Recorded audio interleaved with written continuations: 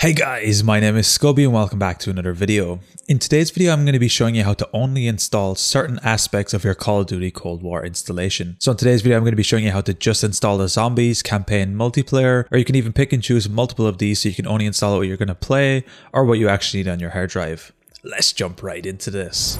So the first thing you're going to need to do is open up Battle.net and of course be logged into your account. We're going to be selecting Call of Duty Black Ops Cold War from our list on the left and we're going to be coming down to the install section here on the bottom left. What we're going to be doing is clicking the install button. We will then get this installation pop up here and here we can see a couple of options that we can change. For today's video what we're going to be doing is looking for the game content here and here we can see the base game, campaign, multiplayer, zombies and Dead Ops Arcade 3. Here we can actually come to the right of this, like a modify install and we can choose which parts of the game we actually want to install. So for example if you're not going to play the campaign you can remove that and you can see you save about 40 gigabytes right away. However here you can pick and choose the exact assets that you want. In this case I'm going to keep everything here. Once you've selected everything simply click confirm and then we can simply click start install which is going to start installing the game. And just like that you can install exactly the parts of COD that you want so you don't have to install everything along with it. Anyway guys it's as easy as that to choose and modify your installation for Call of Duty Black Ops Cold War.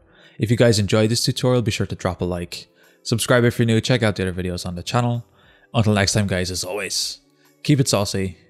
Peace.